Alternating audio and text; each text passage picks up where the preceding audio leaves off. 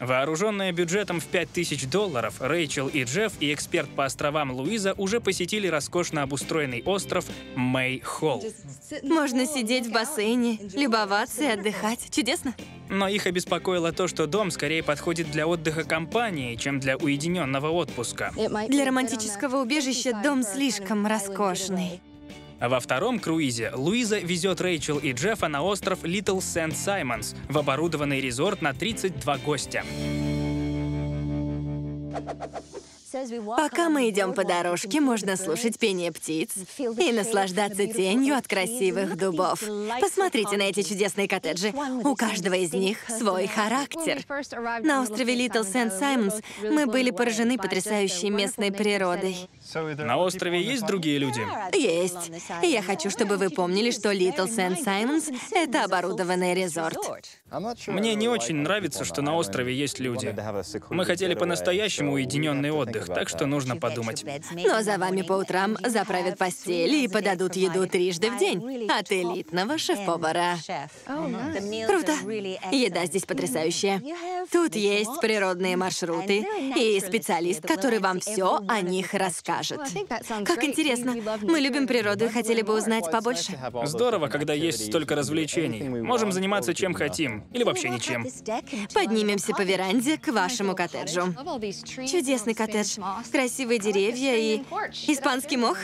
А еще закрытое крыльцо. Можно посидеть утром. Очень красиво. Посмотрите, тут есть камин. Мило и уютно вечерам. Тут есть дубовые полы и потолок из панелей. Как раз. Помещаетесь. Я ростом почти метр девяносто и могу коснуться потолка. Я люблю большие дома с высокими потолками, открытые и воздушные. Этот был низковат.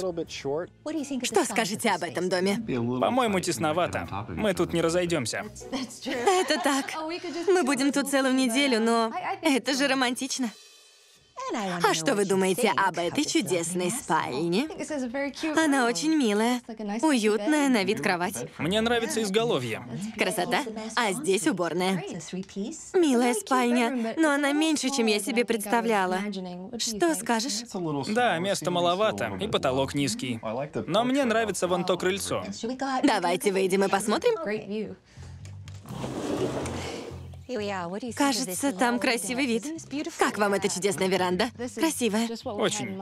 Как раз так мы все и представляли. Настоящая природа, красивые дубы, сразу за крыльцом. Можно просто сидеть и любоваться. Да, все выглядит довольно диким. Настоящая природная растительность. Это квинтэссенция Южной Джорджии.